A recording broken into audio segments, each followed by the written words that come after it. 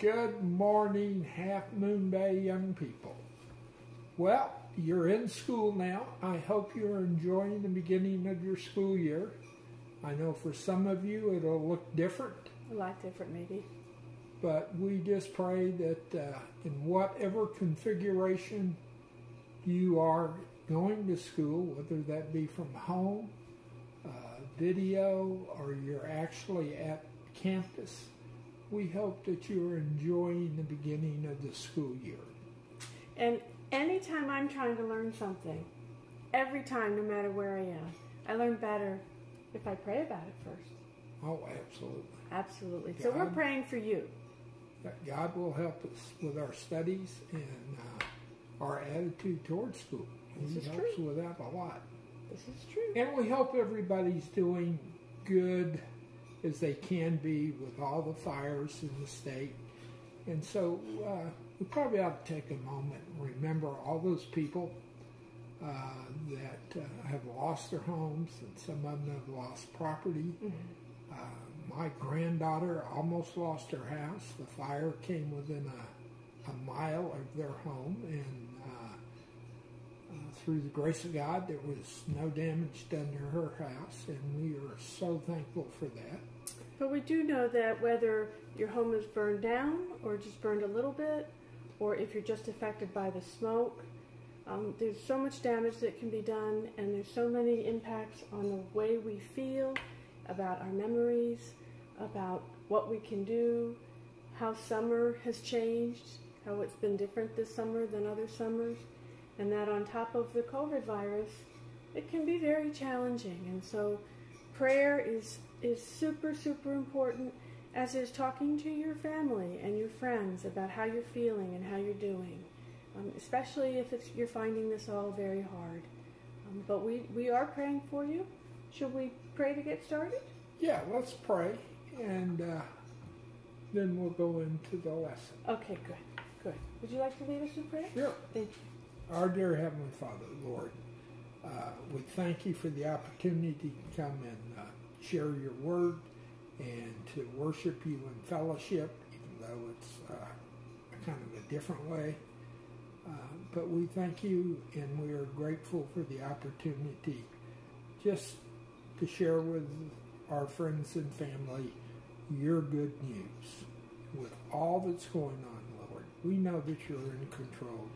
And ultimately, your plan, why we may not understand it or see it at this point, we know that you have a plan for all that is happening. And as long as we lean on you, we will get our strength through you to go through whatever challenge we may face uh, on a daily basis, given all the things that are going on. So we ask that your guidance, your direction. You ask to prepare our hearts and minds for today's lesson, and we just uh, we just lift this time up to you and say, Father, we are so grateful that you give us this opportunity. In Jesus' name. amen amen So today we're going to continue studying in the book of Daniel. Mhm. The book of Daniel is the 27th book in the Old Testament. Daniel was the last of the what is considered the major prophets. And as we're going to see as we study Daniel over the next few weeks, we're going to see how God has taken control of Daniel's life and guides and directs Daniel in many through many difficult situations. And one of the reasons he was able to do that is that God Daniel turned his life over to God and honored God. And if you remember last week, he wouldn't eat the food from the king's table. He kept a simple uh, fare of food. He did not want to be defiled by food that was not prepared according to Hebrew law. And he stayed faithful to that, and God honored that. And if we stay faithful to what God asks of us, He will also honor that. So in today's lesson, we're going to learn three important uh, points, or lessons, I should say. The first one is God is control is in control of the powerful. That's number one. Number two, God is in control of His people. That's us. He's in control of us if we turn our lives over to Him. And three, God is is in control of all history. So, would you like to explain point one? I will. I will. So, God is in control of the powerful. And this is kind of a timely message for us because in our country, we are approaching a new presidential election. And in that election will, will be determined who is the president of the United States. And that's a person who impacts us as Americans, but it also impacts us as global citizens because all of the countries in the world have dealings with the President of the United States. And so God is in control of the person in that role, no matter who they are. Just as God gave King Nebuchadnezzar dreams telling him about the future, he gives guidance and he can give guidance to our president and other world leaders. Some of them may not believe in God. That's true. And yet, God can still influence their we decisions. see that in King Nebuchadnezzar. We do. He We do. didn't believe in So God is in control of believers and non-believers, and those in powerful places and those in not so powerful places. So as we approach this election season, um, I think it's important to remember that we are citizens of the United States. There will be an outcome. We may be happy with it, or we may not be happy with it. But what we can always know is that God is in control of it. Point two is God is is in control of His people. We often face difficulties, but like Daniel, Shadrach, Meshach, and Abednego, we learn that if we put our trust in God, He'll see us through it. In Romans 8:28 it says, "For those who love God, all things work together for good. For those who are called according to his purpose." That's again Romans 8:28, and that's a promise that we can claim mm-hmm. and depend on. Mm-hmm. And God is in control of all history. God's knowledge of the future didn't end when Nebuchadnezzar's kingdom ended. Uh, the future was shown in the king's dreams, still applies that God's kingdom will be established on earth and it will be greater than all others established by people in the past, in the present, in the future. So God in control of all of history, also in control of his kingdom, which is larger than and better than any kingdom we can imagine. All right, today's lesson is drawn from Daniel 2, verses 1 through 49. Now, that's a lot of reading. Long chapter.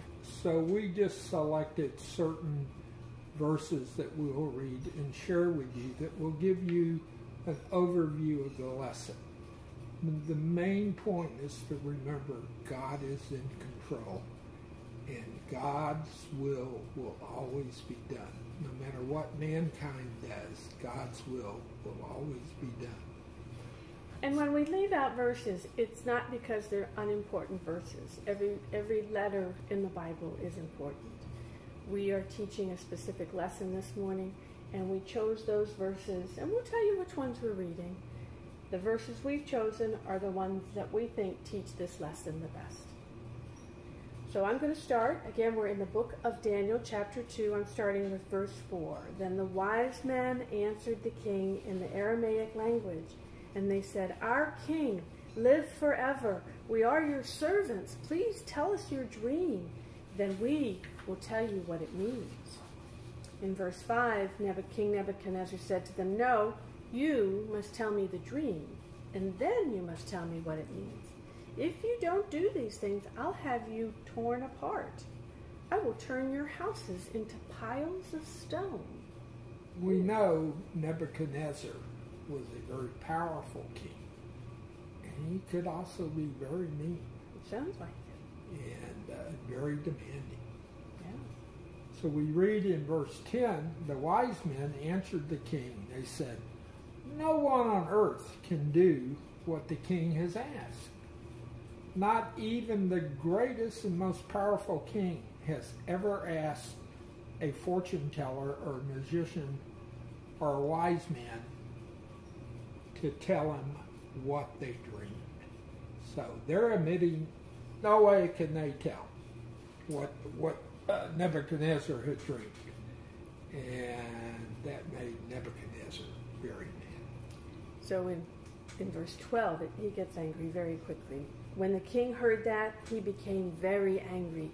He gave an order for all the wise men of Babylon to be killed. In 13, so King Nebuchadnezzar's order was announced, and all the wise men were to be put to death. And men were sent to look for Daniel and his friends. They were going to kill them. In 14, Arioch was the commander of the king's guards, and he was going to be the one to put death to put to death the wise men of Babylon. But Daniel spoke to him with wisdom and skill. So what Daniel did says, Give me time, and I will tell you what the king dreamt and what it meant.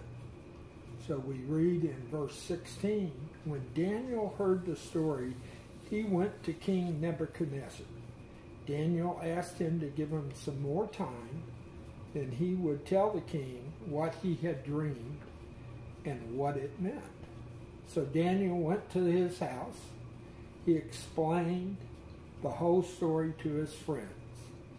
Daniel asked the friends to pray to God of heaven. Daniel asked them to pray that God would show them mercy and help them understand this secret. Then Daniel and his friends would not be put to death with the other wise men of Babylon.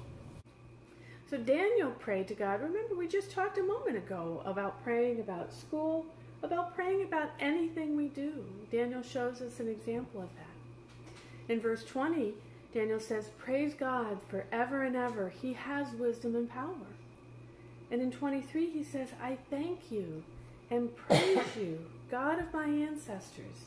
You have given me wisdom and power. You told me what we asked of you. You told us about the king's dream. And in 25, so very quickly Arioch took Daniel to the king, and Arioch said to the king, I have found a man among the captives from Judah. He can tell the king what his dream means. Do you think the captain of the guards, when he said, I have found, he didn't really find him? God sent Daniel to him. And God arranged all this. This is true. But the captain of the guards was trying to score some brownie points, I'm sure, Couple with the points. king. Yeah, for sure. So we read in verse 27, it says, Daniel answered, No person can explain to the king the secret he has asked us about. No wise man, no magician, no fortune teller can do this. So he's telling the king, nobody can tell you what you dreamed.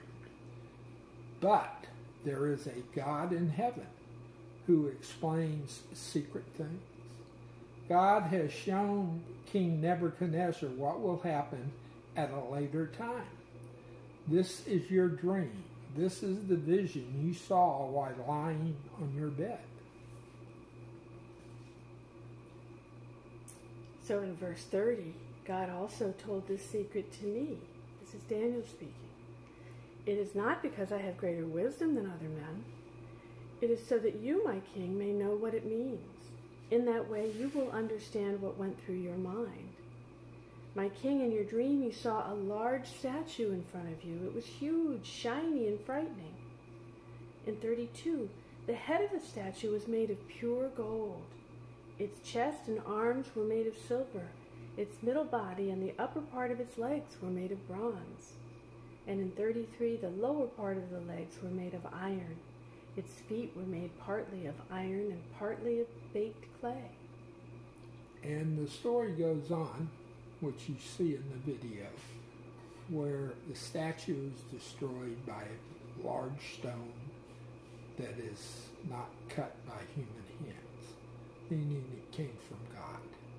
And that stone grows into a great mountain. And that mountain represents God's kingdom. That has not happened yet. That is in our future we don't know when. And a lot of people will say it's tomorrow, next week, next year. We don't know. It's not for us to know. But it is that we can claim the promise that it will happen. hmm God will, in His time, set up His kingdom on this earth, and it will be greater than any kingdom ever established by man. So that's something we all have to look forward to. We don't know when it's going to be. A lot of people have been waiting for it for a long time, and we're, you know, we just uh, we can claim the promise. We know it's going to happen. We just don't know when. And that's probably for the best because we knew when we may act inappropriately. And we don't want to be sitting around waiting for it to happen, but we do want to be ready if it does. And part of being ready is to follow God's direction in our life. Right. And as we talked earlier in the lesson, that God controls his people. If we turn our lives over to him, he will direct us. Mm-hmm. And he will have us busy about his business. And his business is saving souls. And that's what God wants us to do. He wants us in the business of sharing the good news of Jesus Christ and his death and resurrection on the cross. So we always want to keep that foremost in our thoughts that as Christians we have an obligation and a duty to share the good news of Jesus Christ. It's true. Yeah. And we can do that. We can try to do that in everything we say and in everything we do. Yeah. Not But- easy, but it's pretty simple. Especially in our actions. Yeah. You know? Whatever what they they'll know us by our love. They'll know we're Christians by our love. So let's let's uh let we're gonna let you see the rest of the story in the video. So we have a few questions we want to go over, and you can follow along. And uh, why don't you try to answer them as I ask them? I get to ask the questions because I'm the oldest. Go ahead. All right. How long had King Nebuchadnezzar been on the throne when he had this dream? At that point, King Nebuchadnezzar had been on the throne for two years when he had the dream, when the dream came to him. Two years. So he was a new king, and this dream really troubled him because he could not grasp the meaning of it. Mm-hmm. What did King Nebuchadnezzar demand from the wise men? Well, King ne- it, it almost sounded like a trick, really. King Nebuchadnezzar wanted his wise men to tell him what the dream meant, but before that, he wanted them to tell him what it was he dreamed.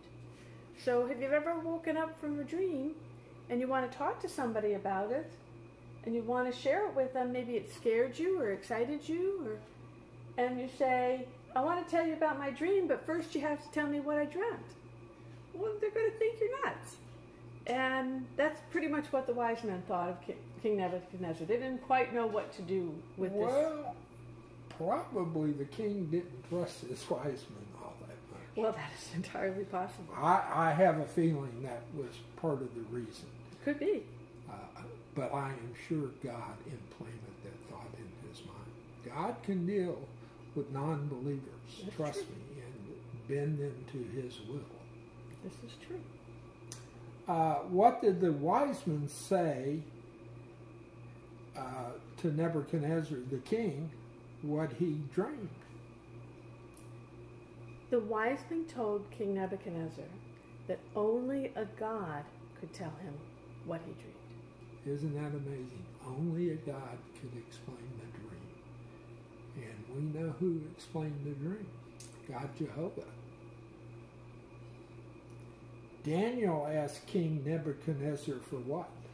Well, when Daniel came to him and said, I can help you with this dream thing, he said, But I, I want some time. I need some time. Why do you think he was asking for time? Well, I think what Daniel did when he was in any situation, his first action item was to pray. And I think that he wanted to pray. I suspect also he wasn't exactly sure what how to answer the king, but that he was going to pray to God about it. But he was pretty confident, I think, that God would give him the answer. Absolutely, absolutely. I, I don't, I don't doubt that he had confidence that that God would lead him to the answer at all.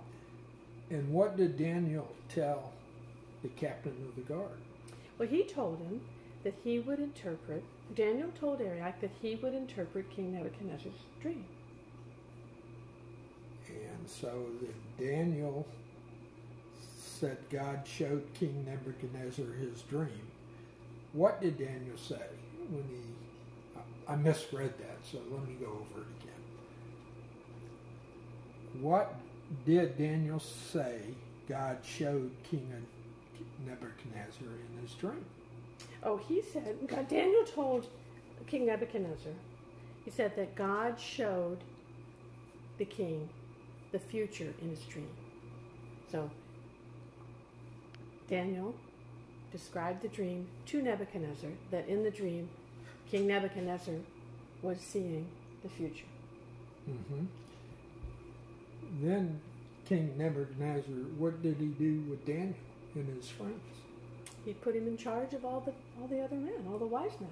Yeah, he so made them the supervisors, the managers, the bosses. Yeah, he gave them all uh, a promotion, promotion, a lot of responsibility. Mm-hmm. Mm-hmm.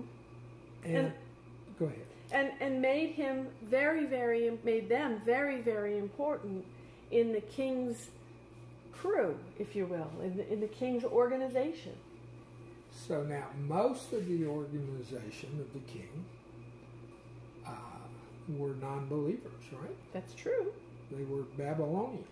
That's right. And they worshiped their own gods.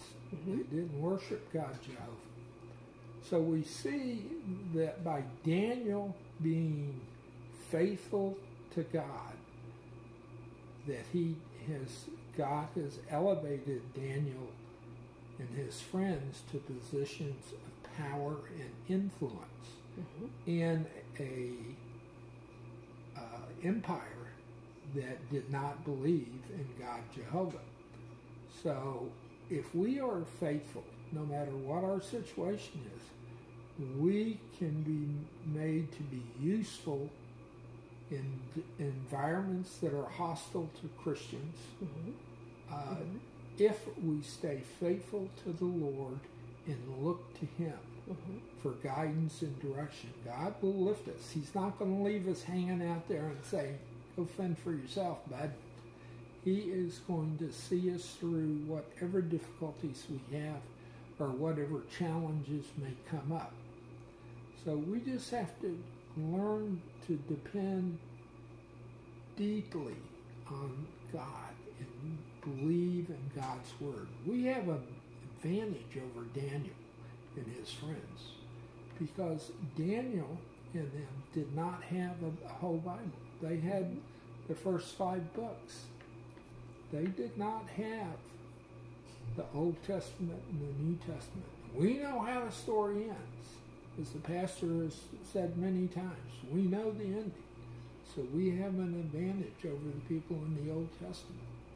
Let us be assured and hold on to that assurance of who God is and that God is in control. And that's that's one of the very, very important lessons we learn from Daniel. He relies on God.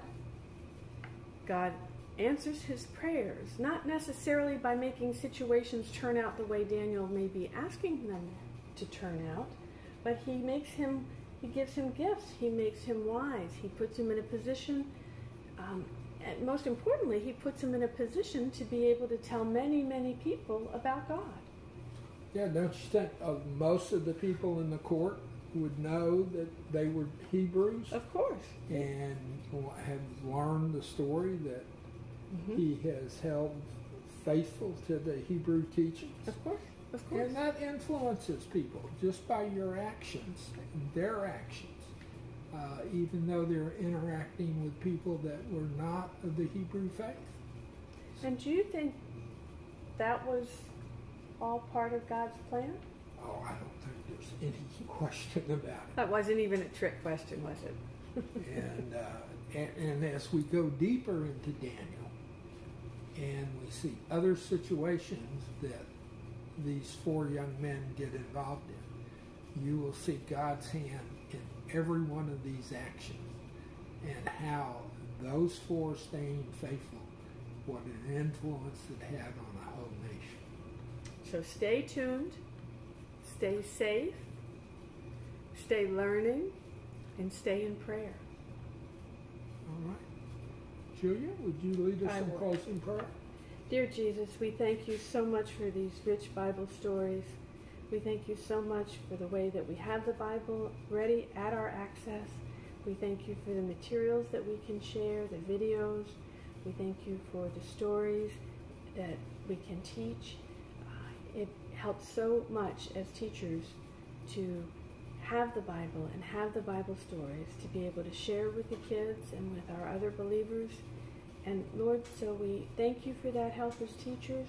We ask for that same help as learners, as we know the Bible and your word is long and rich and has everything to do with our lives every day. And we thank you that we can dive into it, that we can learn through it, and we can do that every day because we have the freedom to do that and because you have invited us to do that. And we have the opportunity to do that. So, Lord, we thank you for the lesson. We thank you for your love and your grace. We thank you for our church family and our, our families. We thank you for our community, our state, our nation.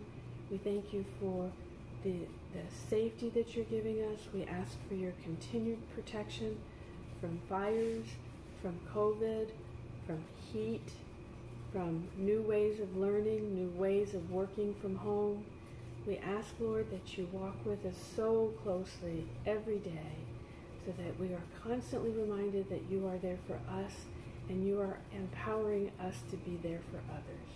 And we pray all this, Lord, in Jesus' name, and we say, Amen. Amen. Amen.